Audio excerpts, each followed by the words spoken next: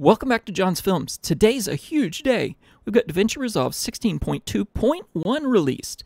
There's not many new features. What there is is insane performance increase. Let's check out some of the improvements they made. They focused on DNxHR, they focused on OpenEXR, that's the stuff that gets saved out of Fusion when you use a saver node. We've got all types of performance for H.265. You can see on the Mac they've improved red decoding. And really, DNxR, ProRes, these things, it's going to be amazing. So let's check out if this really makes that big a difference. To test this, I've used my new Ryzen Ripper machine with an AMD Ryzen 9 3950X, an RTX 2080 Ti, 64 gigabytes of 3466 megahertz DDR4 RAM. Let's see what results we got.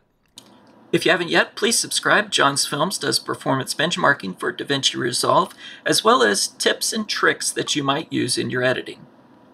Our prior results showed us an overall score of 872, but I'd like to dig a little deeper, so we're going to look here at our codec averages across our 4K test. Cinema Raw Light, H.264, ProRes at 422 color, and ProRes at 444 color. Finally, 4K Red.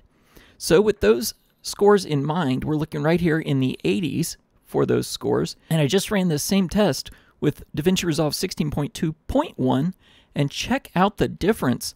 We're looking at about a 25 to 30% increase in speed here of all of the given outputs. I've got an 1176 score here in DaVinci Resolve 4K overall test versus 872.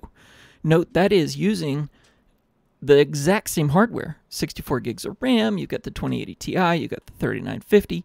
There are some incredible performance improvements here in DaVinci Resolve 16.2.1. I'd say it's an immediate upgrade for those of you searching for a little bit perform little bit better performance in DaVinci Resolve Studio. I'll be testing the free version later this week, but I wanted to get this out there so you could see exactly how amazing the developers at Blackmagic Design are Thanks for watching, subscribe for more benchmarks, and have a great day.